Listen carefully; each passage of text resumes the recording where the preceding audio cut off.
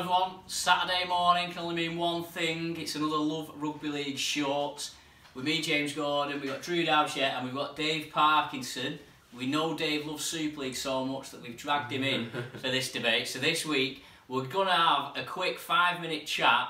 Who do we think is going to win Super League in 2019? So boys, starting the clock. Curveball here, James. I don't, I don't, I don't really know, but I'm, I'm going to go with uh, Helens, really. Um, I think with the improvements that they've made over the off-season, they, obviously they weren't far behind last season. They won the League Leader Shield pretty comfortably.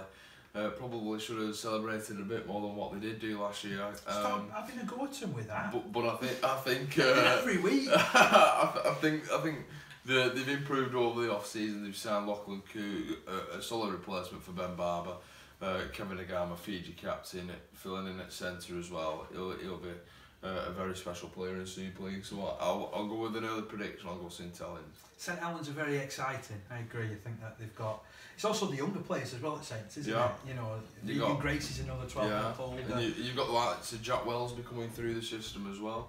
Who, uh, who might get a couple more games under his belt next season, Matty Costello, I'd have him on dual contracts. Have both of them on dual contracts. Matt, Matty Lees, Jack Ashworth. Mhm. the Rochdale uh, duo. Uh, I think I think I think they've got a solid team soon. Uh, I, you know what? I'm going to chuck another curveball in. I'm going to go Leeds because Leeds have a rubbish season followed by a good Mm. season. Don't they? That seems to be Yeah, the, yeah. the process. I think Leeds is a very interesting one because obviously a new coach, they've recruited fairly strongly, you know, they've signed some I good think, I players. think I think the expectation at Saints and Leeds this year is very very high. Uh, I know Leeds didn't have a, a good season at all uh, last year, but I think uh, the, with the signs they made, the money they've spent, and the coach coming in as well, I think the the Leeds fans will, will be wanting them to, to challenge for silver. What What about Warrington? Is it their year?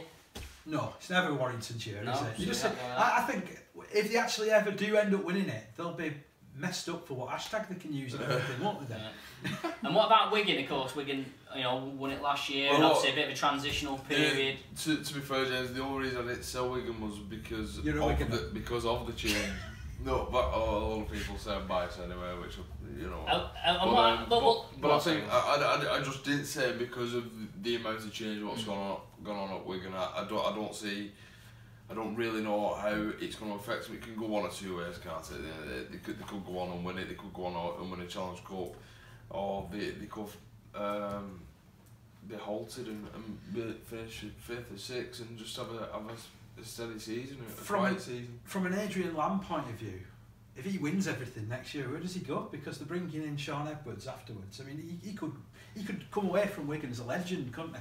well, I suppose the thing is, if he wins everything, he, he he shouldn't find it too hard to get a job somewhere else. I suppose that's where you go. Well, he- he's, he's got he's openly said, hasn't he? He's got aspirations to, to coach in the NRL. So if he, if he wins the treble in Super League, I don't, don't think he'll be short off as uh, so, you- overseas. so obviously, you both are you going Saints as well, Dave? Uh, no, I was going to go Leeds. I was Oh, you're going to go Leeds. in.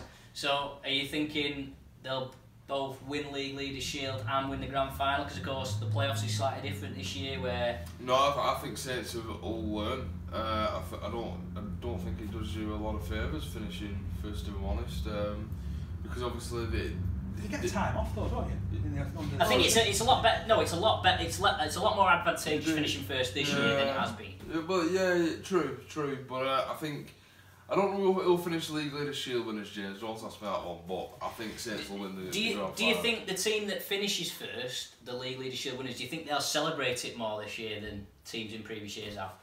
Yeah, because it's. Because it's Helens was very subdued last year, wasn't it? And it's still an achievement. You know, we had Still we got had, hundred k for it. You know what I Yeah, mean? and- so and we pays, pays some wages. I know we had some Casford fans who were unhappy with my comments in Love Rugby League Weekly about them not winning anything when they'd won the League Leaders Shield. And is that perhaps because the League Leaders Shield gets talked down so much? Do we need to get to a point where actually, well, ideally we rename it to something that sounds better than League Leaders What, Shield what, what, and celebrate what about having a, a trophy what's more than like a plate would have my Sunday dinner on? Yeah, hey, it's posh Sunday dinners in your house.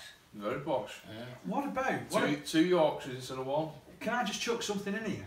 which might just it's another curveball. Go on, actually. Dave. What about if the team that actually wins the league gets straight through to the grand final? Then that, you've, you've, you've done Well, it. yeah, potentially, but but then obviously you've got the issue there where they have so many weeks off, and they're going to be a bit raw. But to be fair, I think this play, I think the top five playoff system's a lot better, and it's a lot more advantageous to the to the team that finishes first. Thirty seconds. Who do I think is going to win it? I, I'm I'm a bit on the fence. I'm, You can't I'm, say witness this I, year, no, I can't. But I'm a bit. I'm. A, I'm sort of leaning towards Dave actually. Leeds. I. I don't know. There's just something about Leeds that make me think. But I do think Warrington will be up there or, or thereabouts. Do you Definitely. have any dark horses? Um, Cass, Wakey? No. Casford. Castleford Castleford. potentially, yeah, yeah, yeah. Catalan. You know, Catalan. You know, they had the experience. Not even members season. of the NFL. There we go. I'm sure And you that- said that earlier in the yeah, yeah. and that's uh, that's your five minutes. So that's who we think's going to win Super League 2019. Please let us know what you think in the comments. And of course, if you want us to debate anything else in future Love Rugby League shorts, please do leave in the comments. Don't forget to like and share the video. And we'll see you next week.